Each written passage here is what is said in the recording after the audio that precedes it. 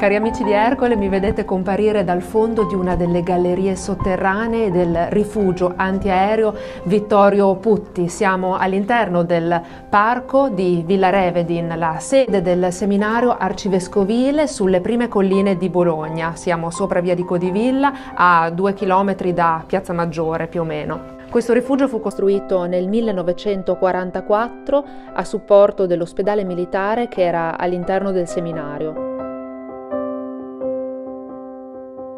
Questo rifugio è l'unico esempio di architettura eh, ospedaliera eh, ortopedica, costruito tardi, verso la fine della guerra, tra il 1944 e il 1945.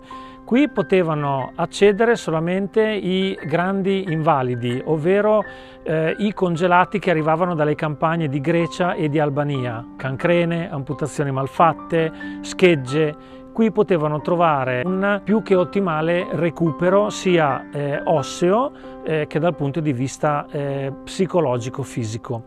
Il direttore era il tenente medico allora Oscar Scaglietti, una delle figure principali eh, dell'ospedale Rizzoli, operò tantissimo in loco, fu eh, chiamato anche eh, il Michelangelo degli interventi, in quanto lui eh, poteva operare tranquillamente, fare anche un lavoro complesso in 20 minuti, dove altri eh, operatori, dove altri medici ci mettevano due ore e mezzo, tre. La sua grande umanità eh, portò a, ad avere una cittadella praticamente indipendente eh, dove potevi accedere solamente se avevi ehm, il permesso del cardinale Nasalli Rocca ed appunto del tenente medico, quindi Scaglietti. Scaglietti rimase qui fino al 1955 quando tutta la, tutta la struttura militare ritornò in mano del seminario arcivescovile. Scaglietti stesso prelevò eh, tutto il materiale medico, tutto il materiale da interventi per andare a fondare Villa Salus, una delle più importanti case di cura del bolognese. Quindi questo rifugio che ha un'estensione di circa 224 metri, compresi tutti gli spazi interni, ovvero la grotta ottocentesca, la cava settecentesca e la sala operatoria di emergenza, compresa l'ex infermeria, comprende questa, eh, questa lunghezza di, eh, di metratura è interamente recuperato ed è interamente visitabile. Ci accompagni dentro così? Certo, seguitemi.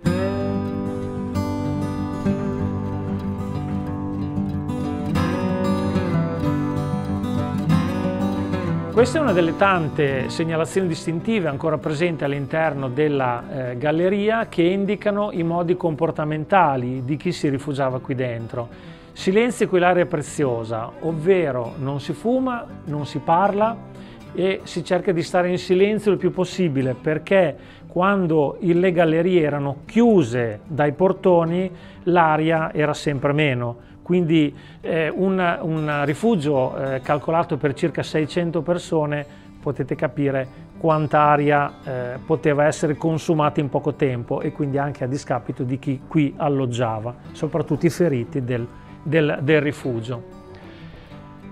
Questa invece è Ariel, la possiamo chiamare così, eh, dalla sirenetta, senza fare pubblicità, eh, ovvero l'ultima sirena antiaerea di Bologna. Datata 1937, è stata recuperata da uno dei tetti dei capannoni della Staveco, grazie a un accordo con il demanio e la soprintendenza dei beni culturali.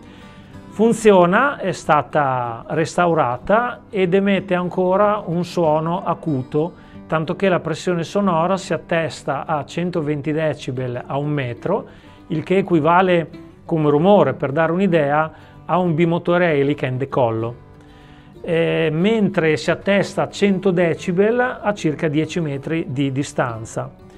Restaurata la facciamo suonare in occasione delle eh, degli eventi principali, quindi dei memoriali, quindi il 25 aprile, il 2 giugno e altre festività come il 14 agosto dove eh, qui nel parco di Villa Revedin si tiene la festa ormai da più di 50 anni storica del, del seminario stesso.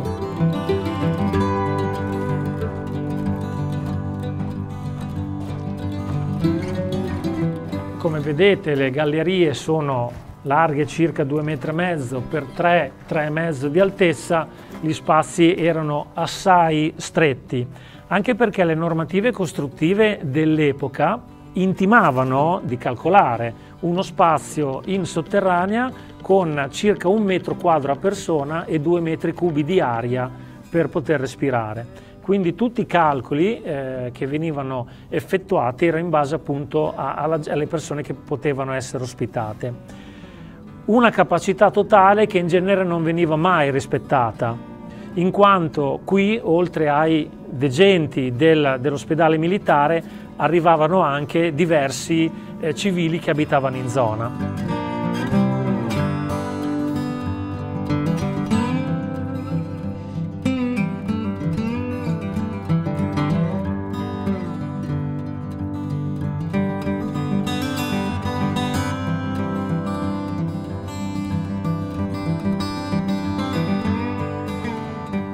Qui entriamo in uno dei due vani principali eh, per curare le persone anche sotto i bombardamenti. Questo era l'ex infermeria.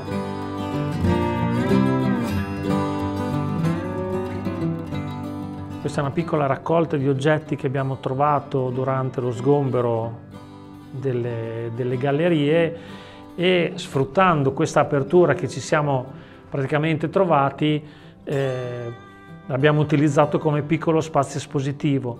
Come vedete anche la, la nostra collina che è fatta prettamente di arenaria, la classica sabbia gialla di Imola, in bolognese detta sabbione, eh, si vedono ancora i segni delle picconate, ma soprattutto vedete che per cercare di far arrivare meno umidità possibile c'è un'intercapedine tra il muro e la eh, e l'arenaria, proprio perché poteva circolare ancora più, più aria.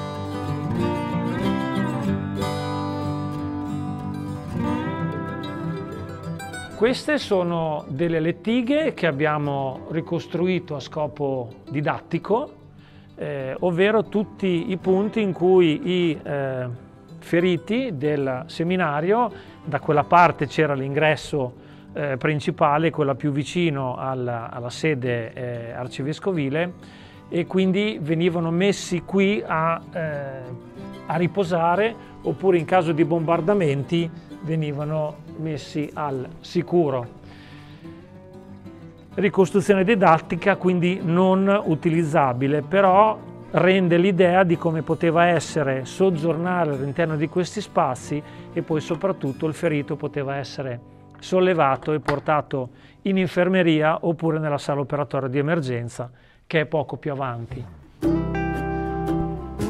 Sopra di noi uno dei due camini di aereazione con la funzione di via di fuga verticale, infatti abbiamo anche la segnalazione distintiva muro US uscita di sicurezza, anche questa è ripristinata. Eh, la salita veniva tramite una scala metallica a pacchetto, carrellata, eh, si arrivava col carrello e i settori di scale già inseriti, una manovella faceva, non faceva altro che sollevare i vari pezzi di scala fino ad arrivare eh, eh a 15 metri d'altezza. In cima eh, il cunicolo non era solo verticale ma fatto a forma di Z, ovvero un camino antisoffio due bracci verticali collegati con uno orizzontale. Questa forma permetteva sì che se un ordigno fosse esploso in collina, cioè all'aperto, il camino non avesse fatto l'effetto Venturi. Eh, quindi non poteva il, il vortice d'aria eh, convogliarsi all'interno e quindi anche danneggiare le persone che qui erano collocate.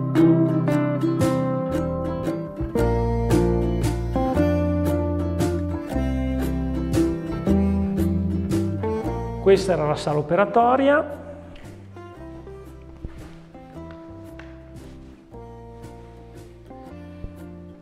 Rispetto all'infermeria è completamente intonacata.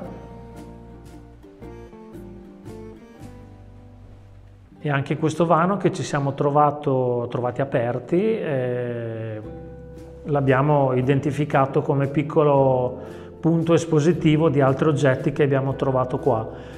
Quindi eh, gavette, eh, latte da olio, strumenti da carro armato eh, e anche delle targhette in legno, soprattutto quella più simpatica è quella dove c'è scritto Razzi.